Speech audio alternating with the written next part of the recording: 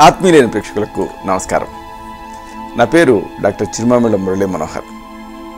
ఈ కార్యక్రమాల పరంపరలో మనల్ని రోజువారీగా ఇబ్బంది పెట్టేటటువంటి అనేక రకాల సమస్యలకి అలాగే మన కుటుంబ సభ్యుల్ని వేధించేటటువంటి అనేక వ్యాధులకి అతి సులువైన అతి విలువైన అతి తేలికైన ఆయుర్వేద ఔషధాన్ని వీటి తయారీ విధానాన్ని తెలుసుకుంటున్నాం.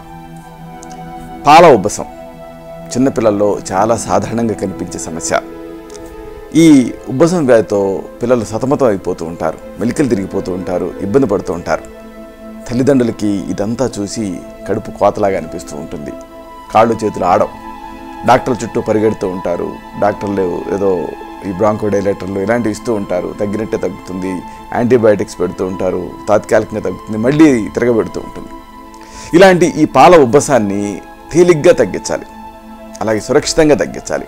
మళ్ళీ మళ్ళీ రాకుండా తగ్గించాలి. ఎలా? దీనికి చాలా తేలిగ్గా తయారు చేసుకునేటటువంటి ఒక చక్కని ఔషధాన్ని తెలుసుకుందాం. ముఖ్యంగా మూడేళ్ళ లోపు పిల్లలకి ఉపయోగపడేటువంటి మంచి ఔషధం ఇది. ఏం చేస్తారు?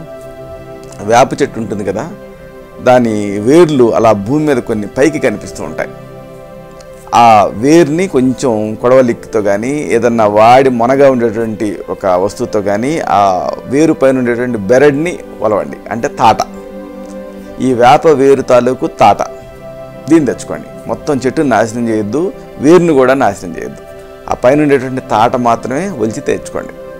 తెచ్చుకొని దీన్ని ఒక గంధం తీసే రాయి మీ ఇంట్లో ఉంటుంది కదా ఆ గంధం తీసే రాయి మీద కొద్దిగా నీళ్ళు చిలకరించి ఈ తాట తెచ్చారే వేప వేరు తాలూకు తాట దాన్ని ఇలా పట్టుకొని ఇలాగా చుట్టండి. అంటే ఆ గంధం రాయి మీద నీళ్ళు చిలకరిస్తూ అరగదీయండి. అప్పుడు మీకు గంధం వస్తుంది. ఇప్పుడు ఎంత గంధం వచ్చిందో ఉదాహరణకు ఒక పావు చెంచాడు గంధం వచ్చింది అనుకుందాం. దీనికి ఒక అర చెంచాడు అలా తేనె కలపండి. రెండు కలిపితే పిల్లలు తేలిగ్గా నాకగలిగేటటువంటి ఒక చక్కని ఔషధం తయారవుతుంది.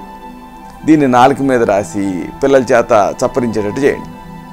ఇలా ఉదయం సాయంత్రం ఒక నలభై రోజులు రెగ్యులర్గా చేస్తే నిశ్చయంగా ఈ పిల్లల్లో వచ్చేటటువంటి పాల ఉబ్బసం తగ్గుతుంది.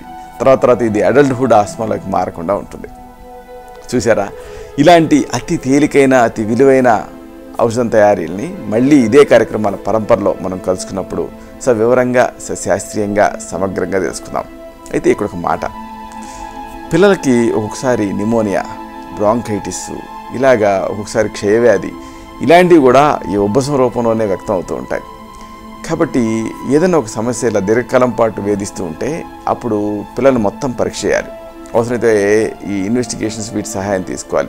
ముఖ్యంగా పిల్లల నాడి చూడాలి తత్వాన్ని బట్టి సరిపోయేటువంటి ఔషధాలు ఉంటాయి. ఉదాహరణకు ఇలాగా ఒక్కోసారి సోమాశ్వం ఇలాంటి చక్కని మందులు ఉంటాయి. వీటిని శ్వాసకుట్టార రసం ఇలాంటి మందుల్ని తగిన అనుపాన సహపానాలతో ఇవ్వాల్సి ఉంటుంది. అప్పుడు పిల్లలు ఈ సమస్య నుంచి పూర్తిగా బయటపడగలుగుతారు. శతం జీవ శరదో వర్ధమాన. శతం హేమంతాన్ శతం వసంతాన్. వంద శరత్తులు వంద హేమంతాలు. వంద వసంతాలు వర్ధిల్లుతూ జీవించండి. శుభం.